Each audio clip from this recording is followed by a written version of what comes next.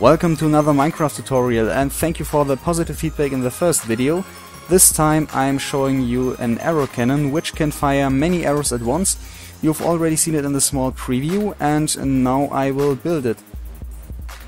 As you can see there are three different mechanisms. One for creating flying arrows, one for collecting these arrows and one for pushing these arrows into the air.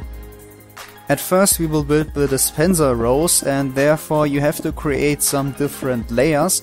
Place some blocks like this to set up the first row, then some more blocks here to set up the second row, and some blocks here to make the last row.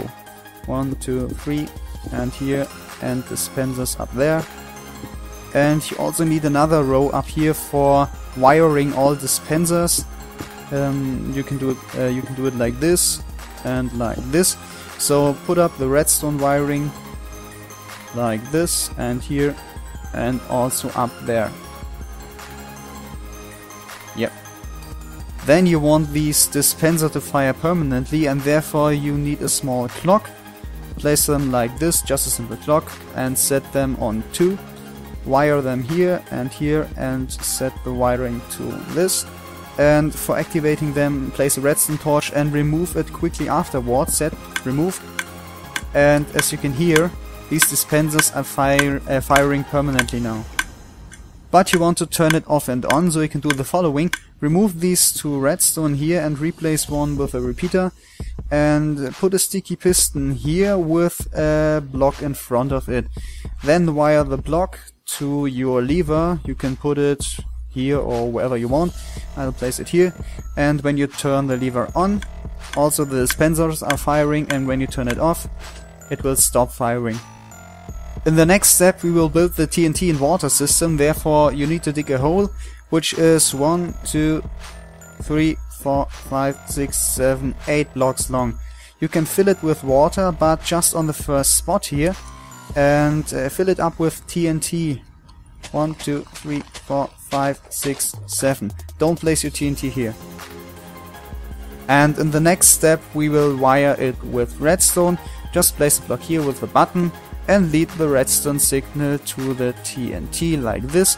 And just for testing I will press the button once and let's see what's happening.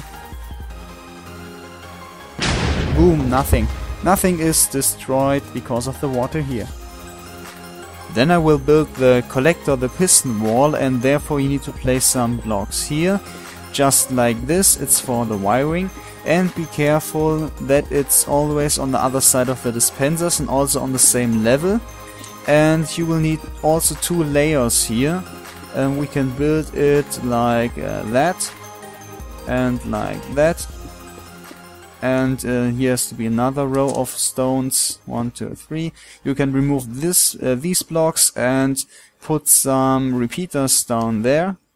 And also up here. And wire it with redstone. Lead the signal down here. And uh, to there. And put some redstone torches on the front of these blocks. And on the front of these torches you can put the pistons just like this also down here and here and here. And don't worry they are also connected with the redstone torches up here even though there's no redstone torch here. So when you have an incoming signal here I place a torch here these pistons will retract and uh, so far for the collector. Whoa, the last scene took over 90 outtakes, I really need to improve my English skills.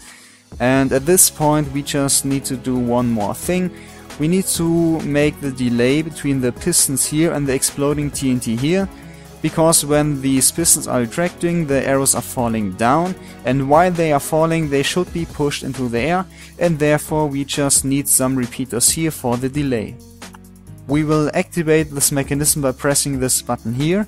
So the TNT is activated first and we need a delay of some seconds here for the pistons to get the right timing and therefore we need some repeaters here. One, two, three, four, five, six, six, seven, eight, and you should put the setting on three. One, two, three, and here, and here, and here, here, and here and wire it with redstone.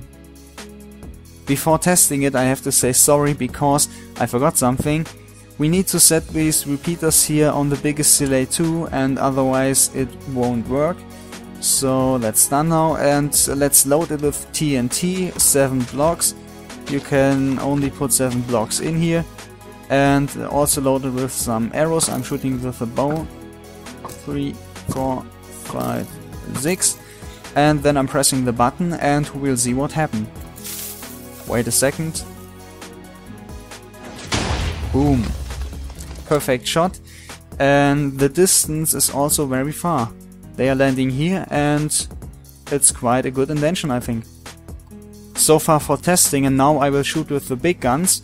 Therefore I'm activating this lever here and I filled the dispensers here with many arrows. I will wait a few seconds here uh, until these pistons are totally stuck with arrows. 10, 9, 8, 7, 6, 3, 2, 1 and stop and uh, pressing the button here. Wait a second and boom. And it will surprise any player that is walking here. It's perfect for impressing friends on multiplayer servers or scaring them. So thanks for watching this tutorial, it would be nice if you rate it. Normally I'm making videos in German, so it's very difficult for me to make them in English, but I'm here to improve my English skills more or less and I hope you liked it. See you in the next video, I will link the last tutorial now, and goodbye.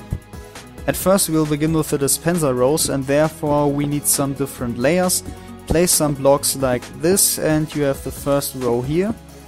Then build the second row, blocks here and dispensers up there. Not a torch. Damn. In the next step we will wire this with redstone, just place block here with a button. Fuck.